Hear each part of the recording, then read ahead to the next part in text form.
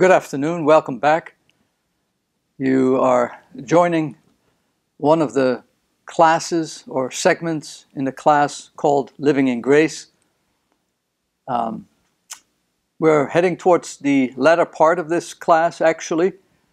Um, we have today's topic about forgiveness and then conflict and resolution, and we top it off with the important topic and rightfully placed as the last topic. Uh, it's the climactic topic, if you will, worship. But today we're taking a look at the topic of forgiveness. If we're going to live sanctified lives, if we're going to live in grace, you can perhaps understand quite quickly that it would be an oxymoron.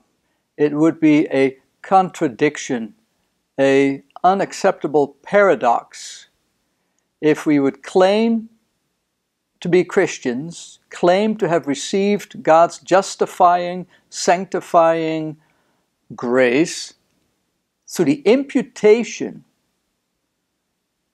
That means that God declares from His side as the judge that we are His freed, forgiven children. If we claim that to be men and women who don't forgive others of the things that they have done wrong. And so, as God has forgiven us of a debt we could never pay, then that makes us grateful, or should. And we become kind and forgiving. We have that disposition created by the Holy Spirit, enabled by the Holy Spirit, to be quick to forgive others as my as a, as a pastor over the years, especially here in this environment where the senior citizens live, the elderly, um, on a number of occasions I've spoken with some of those men and women, Christian people, um, various degrees of spiritual maturity, undoubtedly, but it has struck me several times how people who are now 90 years old, sometimes or more, are remembering things as, if it happened yesterday. Things that were said, things that were done to them um, by their parents who are long gone by now, perhaps siblings, uncles, neighbors, teachers, they remember it very vividly. And they have had a hard time letting go of it. So, a lot of people struggle with forgiveness, especially when it concerns serious infractions, serious um, violence whether verbal or physical or sexual, uh, that was perpetrated against people. Giving forgiveness more naturally to people requires then that we have a growing awareness of God's marvelous grace and love and holiness toward us in Christ Jesus. So, how does God's grace pass from us to others when it concerns specific issue of forgiveness? I want to read to you a short passage from Paul's letter, this time to the Ephesians, city of Ephesus, in what is now modern day Turkey, uh, was a large city uh, of central importance, both culturally, politically, economically. Um, and there was uh, a, a following of Christ believers, and to them, in the section on the way wives and husbands ought to relate to one another, he says to the husbands, Love your wives, just as Christ loved the church and gave himself up for her to make her holy, cleansing her by the washing with water through the word and to present her to himself as a radiant church, without stain or wrinkle or any other blemish, but holy and blameless. In this same way, husbands ought to love their wives as their own bodies. He who loves his wife loves himself. That's just a um, portion in the letter to the church in Ephesus where the Apostle Paul applies the principle of grace having freed us from ourselves. Not to mention from the just judgment to come, but the grace has also had a way of freeing us from ourselves. And now we are free to love God, free to serve our neighbor. And it is within that context of gospel freedom that husbands and wives learn little by little how to relate to one another in a God glorifying way. Of course, not everybody is married. You may be single, you may be too young to be married yet. Of course, the teachings apply to all of you as well to all of us. The Apostle Paul writes a little bit earlier, towards the end of chapter 4 Do not let any unwholesome talk come out of your mouths, but only what is helpful for building others up according to their needs, that it may benefit those who listen. And do not grieve the Holy Spirit of God with whom you were sealed for the day of redemption. Get rid of all bitterness, rage, and anger, brawling and slander, along with every form of malice. And then, verse 32 in chapter 4 Be kind and compassionate to one another, forgiving each other, just as in Christ God forgave you. There are several things that stand out in this last verse. And it is, of course, quite straightforward. We all have a pretty clear sense, I think, of what it means to be kind. You don't bark at a person to do something like you would bark perhaps to a dog. But a human being gets treated differently, with respect and so be kind to your children. Be kind to your wife. Be kind to your husband. Be kind to your boss. Be kind to your employee, your servant. Be kind. And be compassionate. Try to understand what that person is going through the situation that he or she finds themselves in. Be understanding. Come alongside them. Help them in their suffering. And then it says to one another. Be compassionate to one another. That little phrase, one another, is a description of one of the characteristics of the church, the attributes of the church. It is a communion. It is a fellowship. It is a family. It is a one another.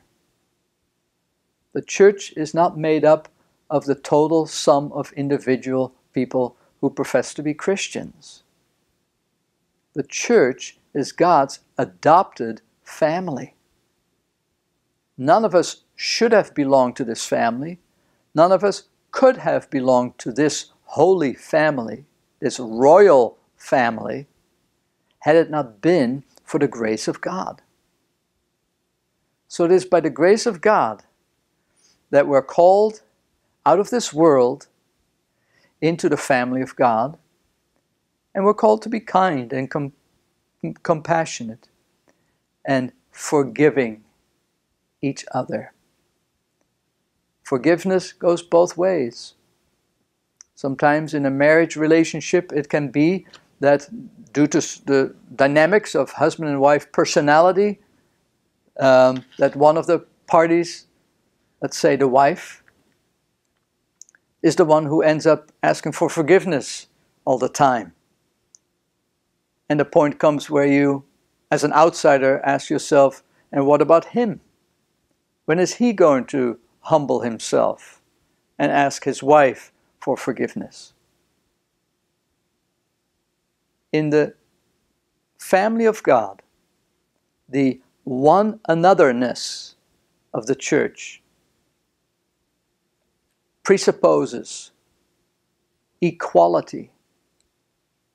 Equality between men and women, servant and other relationships that we may have, equality before God. Different roles in the world, but equality before God. We are one another. The poor eat with the rich at the su- supper table of the Lord Jesus, and the rich eat with the poor. And depending on your practices in your churches, the rich person washes the feet of the poor person, and the poor person washes the feet of the rich. Isn't that beautiful? And the reason, the motivation is given at the end. Why do we do these things? Why are we kind and compassionate? Just as in Christ God forgave you. God in Christ has forgiven you. So now you and I are under obligation to extend that forgiveness to those around us, particularly in the church.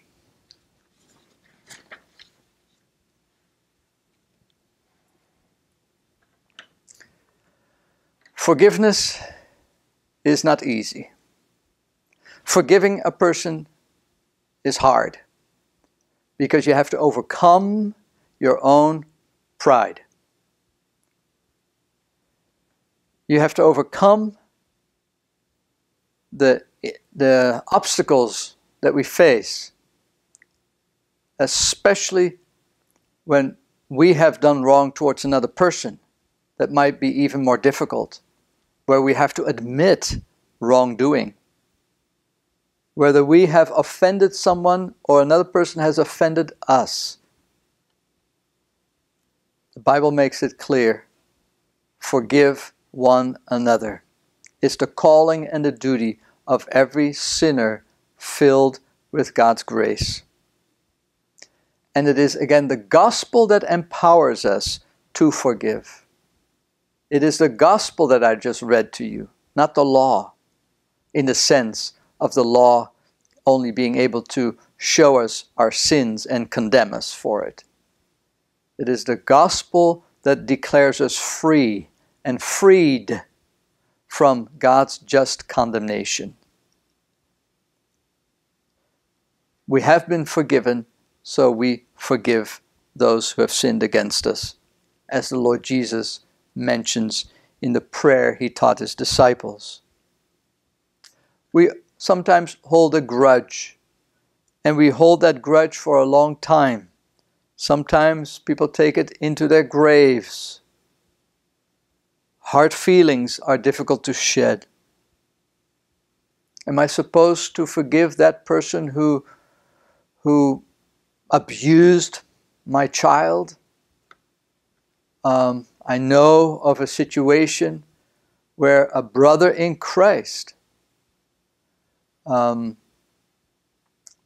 committed an atrocious crime against a younger person. And it was not sexual abuse, by the way. And that sin leaves a scar on him for the rest of his life. Nevertheless, God's grace is greater than any and all of my sins. Isn't that one, one of the popular hymns in the English language celebrates? God's grace is greater. Let God's grace move you to not hold on to grudges leave them at the cross, leave them with Jesus, and determine for yourself to be done with it. Because these tend to be things that weigh you down. They are like blocks of stone and rock that you carry with you on your shoulders as you walk through life. You become a person who is not a joyful person, a person who is known to be ready to forgive, ready to sympathize, ready to empathize with others. Sin separates us from God. Sin separates us from other people. Sin also condemns us. We all have sin in us, and that very sin condemns us in God's sight. Excuse me. But it is the grace of God that triumphs over sin.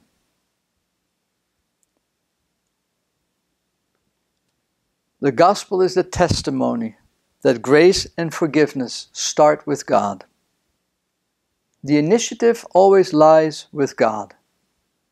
And from there, we understand what is our duty towards those around us. The church is that wonderful place, that unique place in all the world. It is a storehouse, a dispensary, where God's love and mercy and grace mingle, as it were, with the blood which made it possible, the shed blood of Jesus shed on the cross, so that marriages and families and church families and communities where we live, even countries, can become transformed into places, into cultures where the Lord God is known and experienced, where His love is known and shared with others, so that we have a witness that goes into all the world that there's a better way to live. And people often talk about that they hope for a better world. Well, the best is yet to come the world without end, where there is no sin, no need to forgive anymore. But that hasn't come yet. Until that comes, we are called to be agents of grace filled sinners who help to transform life inside us, life around us, and in the world at large. That is our mission. So, am I a forgiving person? Am I growing in that role of being a forgiving person? Am I growing in my role of being a person who is quick to empathize, have compassion, before I am quick to judge and condemn? For that, we need the ongoing work of the Holy Spirit. And for the Holy Spirit to be powerfully at work in our lives, growing us in grace, so that we can walk and live in grace. For that, it is necessary that the gospel, now broadly understood as the whole entire Word of God, takes a central role in your and my daily lives. It is my prayer that God will give us the desire to be a forgiving person, the desire to live in reconciled relationship with God firm, foremost, but also with our neighbor. Sometimes we take God's forgiveness for granted. It takes sacrifice. It takes uh, deliberate, thoughtful commitment to use each day and to be aware and alert to opportunities that God would give us to be men and women who are gracious, who are compassionate and kind and forgiving.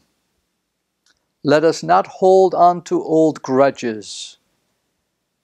But if you say that you have been forgiven by God, then be bold and be courageous and ignore your feelings and sentiments, however powerful they may be, when you contemplate all the wrong that was done against you. But you have no choice in this matter. We're called to be agents who forgive. And when the other person has not come to you yet to ask for forgiveness, it is your prerogative. Standing inside the grace of God for you, it is your call. It is your calling to forgive and leave the other side for the Lord to take care of. The other person may never ever come to you and ask for forgiveness. That is the business that he or she has with God.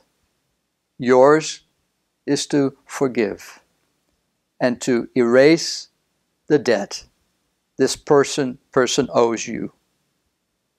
There is no better way than to have a heart that holds no grudges, but is instead filled with a passion for God and also the passion to live out the grace of God in our dealings with fellow humans and be, human beings. So, as homework concerns, think of one or more persons you need to forgive. Think about what is the main issue that created the rift between you and the other person. What is it that this person violated? How were you wronged? How did you wrong another person? Can you remember? And if you had the chance, what would you tell this person? Whether that person had wronged you or you had wronged them, what would you tell them?